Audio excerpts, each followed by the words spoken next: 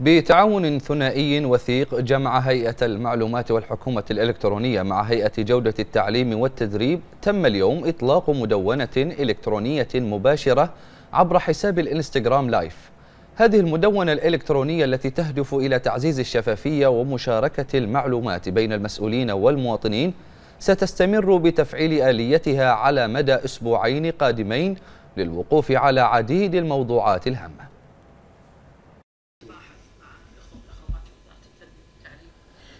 من باب سياسة الكتاب المفتوح وتطبيق آلية الأبواب المشرعة في وجه أي تساؤل أو استفسار أو طلب خدمة قد يسوقها عقل المواطن لترد على لسانه يراد منها حصوله على الإجابة الشافية من قبل المسؤول المباشر والمعني في إعطاء الإيضاح المطلوب.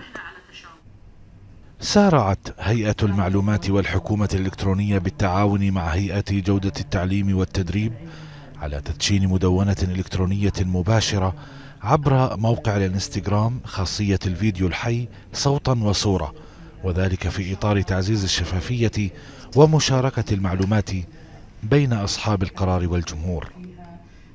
تنفيذا لتوجيهات القيادة الحكيمة بالتواصل وإحنا دائما نستفيد من هذا التواصل على الجهتين الجمهور يحصل على الإجابات وعلى الاستفسارات اللي في خاطرهم وإحنا كذلك نستفيد من هذه التغذية الراجعة التي من استفساراتهم في تطوير آه، آلياتنا وعملنا في هيئة التعليم والتدريب.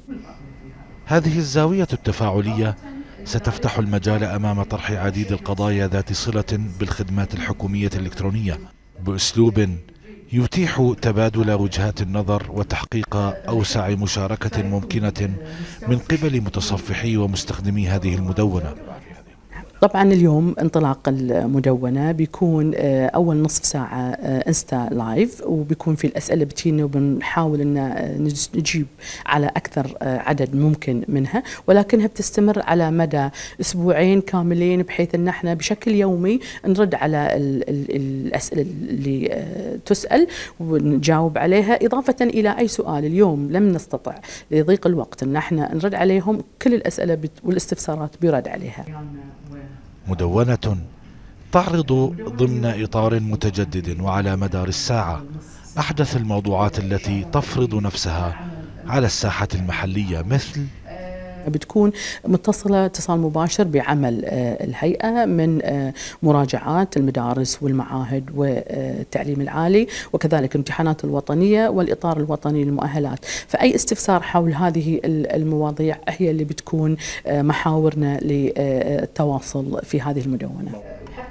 خطوة تشاركية من المؤكد أنها ستحظى بثقة المواطن في سماع صوته وتلبية رغباته وإماطة اللثام عن أي غموض قد يعتري كيفية حصوله على أي خدمة حكومية هو ماض في تسويتها. لتلفزيون البحرين محمد رشيدات.